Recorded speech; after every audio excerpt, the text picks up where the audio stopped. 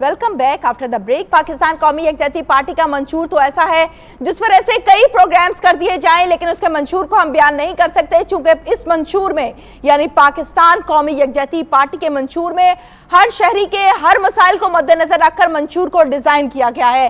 تو پہلے ہم آتے ہیں باقی لسٹوں کی طرف، تمام لسٹوں کی اناؤنسمنٹ میں کر لوں۔ پھر اس کے بعد ہم گفتگو کے سلسلے کو آگے بڑھائیں گے۔ قصور کی یو سی نمبر ایٹ کی لسٹ ہے میرے پاس۔ اس کی اناؤنسمنٹ کی طرف آتے ہیں۔ Muhammad Khurshid chairperson Muhammad Umar president Abdur Razzaq vice president Abdur Rahman finance secretary Abdur Rahman information secretary Shabbir Hussain joint secretary U C number nine کی لسٹ ہے ناظرین میرے پاس اور یو سی نمبر نائن کی list میں پہلا نام ہے Saifullah chairperson Muhammad Riaz president Muhammad Arshad vice president Niamat Ali finance secretary Muhammad Saleem, information secretary Muhammad Mushtaq, joint secretary U C number ten کی لسٹ ہے ناظرین، یہ میرے پاس، اور یو سی نمبر ٹین کی لسٹ میں جو اناؤنسمنٹ ہے، اس میں پہلا نام ہے عبد Sattar chairperson Ghulam Haider president Niamat Ali vice president Niamat Ali finance secretary Sajjad Ali information secretary Sajjad Ali joint secretary U C number 11 U C number 11 میں ہے جی روف صاحب چیئر پرسن ان کے ساتھ محمد آصف صاحب، جوائنٹ سیکرٹری کے طور پر منتقب ہوئے ہیں اور ان تمام لوگوں نے پاکستان قومی یکجہتی پارٹی کے منشور پر عمل درامت کی، یقین دہانی بھی کروائی ہے۔ جیسے کہ میاں یاسن وٹو صاحب نے گفتگو کے دوران یہ کہا کہ ہر وہ شخص جو اس پارٹی کے منشور کے خلاف جائے گا، ہم اس کی میمبر ساسی کو ختم کر دیں گے۔ ہم اس کی جو ایک رجسٹریشن ہے، پارٹی کے ساتھ اس رجسٹریشن کو منسوخ کر دیا جائے گا۔ یو سی نمبر 12 ہے میرے پاس یہاں راو خان والا سے۔ راو خان والا سے ہوئے Muhammad Imran chairperson Muhammad Kashif president Qasim Ali vice president Muhammad Asif finance secretary Zeeshan Barkat information secretary Muhammad Mansha joint secretary U C number 13 ہے میرے پاس اور اس کی لسٹ کی طرف آئیں گے ہم۔ اللہ دتہ chairperson Allah Ditta president Muhammad Nazir vice president Muhammad Razzaq finance secretary Muhammad Razzaq information secretary Muhammad Razzaq joint secretary ان کے ساتھ ہی آتے ہیں ہم جناب یو سی نمبر فورٹین کی لسٹ ہے میرے پاس اور یو سی نمبر فورٹین میں فرسٹ نام ہے زیشان کا Zeeshan Barkat chairperson Muhammad Rashid president Muhammad Ilyas vice president Liaquat Ali Tabassum finance secretary Liaquat Ali Tabassum information secretary Hafiz Mubashir, joint secretary U C number 15 کی list میرے پاس ہے اور یہ لاسٹ لسٹ ہے۔ آج کی قصور کے حوالے سے اس کی اناؤنسمنٹ کریں گے، پھر ہم گفتگو کے سلسلے کو آگے بڑھائیں گے۔ Muhammad Imran chairperson Abdul Qayyum president Tahir Islam vice president Tahir Islam president finance secretary جیسا کہ آج کی تمام لسٹیں قصور لیول کی یو سی لیول پر میں نے اناؤنسمنٹ کی ہیں اب ہم اپنے گفتگو کا سلسلے کو آگے بڑھائیں گے پاکستان قومی یکجہتی پارٹی ہے کیا اس زائچے کو اس خاکے کو میں کوشش کروں گی کہ اس مختصر سے ٹائم میں کور کر سکوں اور آپ تک میسج پہنچا سکوں معاذ روگر بتائیے گا الحمدللہ پاکستان قومی یکجہتی پارٹی جو ہے وہ عام آدمی کی پارٹی ہے اور ہمارے، ہماری پارٹی کے اندر پورے ملک سے الحمدللہ جتنے مزدور لوگ ہیں، جتنے لوگ اس وقت دوسری پارٹیوں سے منحرف ہو چکے ہیں لوگ، جوک در جوک الحمدللہ شامل ہو رہے ہیں۔ اور تہمینہ میں بتاتا چلوں کہ آج سے چار سال پہلے چیئرمین صاحب میاں عبدالغفور بٹو صاحب نے اس ٹائم نعرہ لگایا، پاکستان قومی یک، قومی یکجہتی کا نعرہ لگایا اور ہر کسی کے پاس گئے، ہر سیاستدان کے پاس گئے، جب ہماری قوم، ہمارے سیاستدان بالکل بکھرے ہوئے تھے، اس ٹائم میاں عبدالغفور بھٹو صاحب نے سب سے جا کے ریکویسٹ کی، پاکستان کے کونے کونے میں گئے، بلوچستان، سندھ، سرحد، کے پی کے ہر جگہ پہ گئے، آزاد کشمیر میں گئے اور لوگوں کو ایک ہی تلقین کی کہ خدا را، یہ پاکستان جب حاصل کیا گیا تو اس کے لیے بڑی قربانیاں دی گئی۔ ہمارے بزرگوں نے بڑی قربانیاں دی ہیں۔ تو لہٰذا تمام تر اختلافات ختم کر کے یکجا ہو جاؤ تاکہ پاکستان ترقی کرے۔ اور پاکستان ترقی کرے گا تو ہمارا معاشرہ ترقی کرے گا، ہمارے لوگوں کو ایجوکیشن ملے گی۔ تو اس کے بعد جب میاں صاحب نے پھر فیصلہ کیا کہ ہم ایک پارٹی، باقاعدہ پاکستان قومی یکجہتی پارٹی کے نام سے ایک جماعت بناتے ہیں اور الحمدللہ ہم نے باقاعدہ ایک سیاسی جماعت کے ساتھ یہ ہم نے ورک شروع کر دیا اور الحمدللہ تہمینہ آج پورے پاکستان کے کونے کونے کے اندر پاکستان قومی یکجہتی پارٹی کے کارکن موجود ہیں اور ہر یونین کونسل سے تحصیل ڈسٹرکٹ لیول پہ ہماری کمیٹیاں موجود ہیں اور لوگ جوگ در جوگ شامل ہو رہے ہیں کیونکہ لوگ ان سیاستدانوں سے ان کو پتہ چل گیا ہے کہ ان لوگوں نے ہمیشہ ووٹ لے کے عوام کو دھوکہ دیا ہے اور آج دیکھیں کہ جتنے سیاستدان ہیں ان کے بنگلے ان کے بچے ان کے تمام جائیدادیں ملک سے باہر ہیں میں کہتا ہوں کہ اگر آپ پاکستان کے وزیر اعظم ہیں تو آپ کا سارا مال آپ کی فیکٹریاں پاکستان کے اندر موجود کیوں نہیں ہیں۔ آپ ووٹ اس عوام کے ساتھ عوام کے ووٹ کے ساتھ آپ پاکستان کے وزیر اعظم بنے پاکستان کے وزیر بنے پاکستان کے منسٹر بنے تو آپ کے بیک بیلنس جو ہیں وہ ملک سے باہر ہیں۔ میں کہتا ہوں پاکستان کے اندر باقاعدہ ایک قانون بننا چاہیے کہ جس شخص نے پاکستان کے اندر الیکشن لڑنا ہے تو سب سے پہلے اس کے بچے اس کے مال و دولت اس کے تمام فیکٹریاں پاکستان کے اندر موجود ہونی چاہیے۔ آپ دیکھیں کہ ہمارے ملک کے بعد آزاد ہونے والے ملک کہاں ترقی کر گئے لیکن ان سیاستدانوں نے اس کو کھا کھا کے ملک کے اندر۔ کھوکھلا کر دیا ہماری جڑوں کو کمزور کر دیا کیونکہ انہوں نے پاکستان کی اکانومی کو تباہ کر دیا ہے۔ یہ میں سمجھتا ہوں کہ نالائق لوگ ہیں اور انہوں نے صرف اپنے بینک بیلنس بھرے ہیں۔ اپنی جائیدادیں بنائی ہیں، اپنے بچوں کو باہر ایجوکیشن دلوائی ہے۔ کیا پاکستان کی عوام ایک غریب آدمی، ایک ریڈی والے آدمی کا یہ حق حاصل نہیں ہے کہ اس کا بچہ اچھی ایجوکیشن حاصل کرے اور وہ ایک اچھا آفیسر بنے؟ کیا ایک عام مزدور کا یہ حق حاصل نہیں ہے کہ اس کو علاج بہتر ملے؟ آپ یہ خود تو علاج کروانے کے لیے جتنے منسٹر ہیں، جتنے وزیر ہیں اور ان پارٹیوں کے سربراہ باہر کے ملکوں میں جاتے ہیں، کیا عام آدمی کا حق حاصل نہیں ہے کہ اس کو اس پاکستان کے اندر آپ ایک اچھی میڈیسن مہیا کر سکیں۔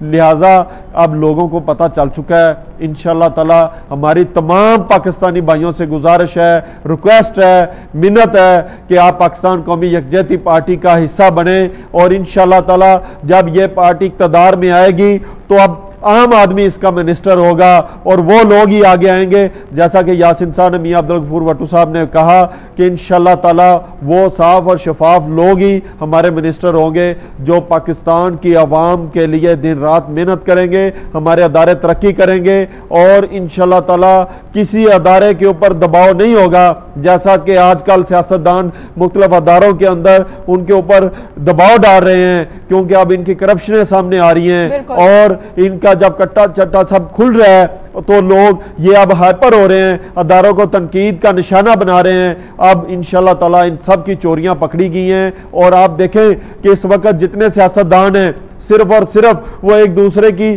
میڈیا کے اوپر دیکھتے ہیں ان کے جلسوں کے اندر دیکھتے ہیں ایک دوسرے کی چوریاں بتا رہے ہیں۔ کبھی کسی نے یہ بات کی کہ عام ایک شہر کے آدمی کو عام مزدور کو کیا دو وقت کی روٹی تین وقت کا کھانا مل رہا ہے؟ کیا اس کے پاس رہائش اس ہے؟ کسی کا دھیان نہیں ہے۔ ماسٹر اگر آپ نے بہت اچھا پوائنٹ جو ہے اس کو ریز کیا ہے کہ کیا ایک شہری کے پاس تین وقت کی روٹی اور رات کو سونے کے لیے گھر ہے؟ اس بات پر آج تک کسی حکمران نے کان تک نہیں دھرے اور نہ یہ ان کو صرف اور۔ صرف اپنی کرسیوں کی پڑی ہوئی ہے اور تمام لوگ اس وقت وزارتوں کے نشوں میں ہیں کہ ہمیں وزارت مل جائے، ہمیں وزارت عظمہ مل جائے، ہمیں کرسی مل جائے، ہمیں اقتدار مل جائے۔ لیکن کبھی ان لوگوں نے اپنے جلسوں میں یہ بات کی کہ ایک آدمی جو فٹ پاتھ پہ سو رہا ہے، اس کے لیے گھر کا انتظام کرنا ہے، اس کے لیے کھانے کا انتظام کرنا ہے۔ لوگ خودکشیاں کر رہے ہیں اس وجہ سے کہ لوگوں کو روزگار مہیا نہیں ہے۔ انشاءاللہ تعالی جب پاکستان قومی یکجہتی پارٹی اقتدار میں آئے گی تو ہماری اولین ترجیح ہوگی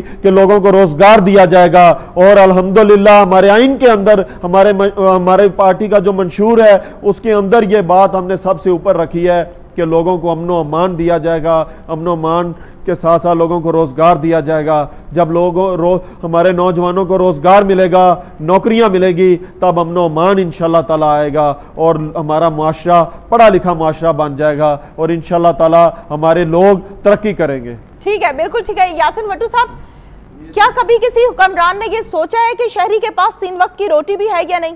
تو یہ سوچ، اسی لیے تو پاکستان کی یہ حالت ہوگی ہے کہ جب انہوں نے سوچا ہوتا غریب کا سوچا ہوتا انہوں نے اپنی جیبیں بھری ہیں اپنے گھر بھرے ہیں اور باہر اپنے بچے بھیجے پڑھانے کے لیے پیسہ سارا پاکستان کے جتنا باہر انہوں نے انہوں نے ایکسپورٹ کیا ہوا ہے اسی وجہ سے پاکستان کی حالت ڈالر کہیں سے کہیں پہنچ گئے پاکستان کی جو ہمارے ملک کی جو ہمارے پاکستان کی کرنسی ہے وہ نیچے چلی گئی ہے۔ لیکن میں بتاؤں کہ ہم خاص طور سے ہمارا بیس کہاں ہے؟ ہماری پاکستان قومی یک پارٹی کا بیس اس کی اساس اس کی دھرتی اس کی جڑ وہ کیا ہے؟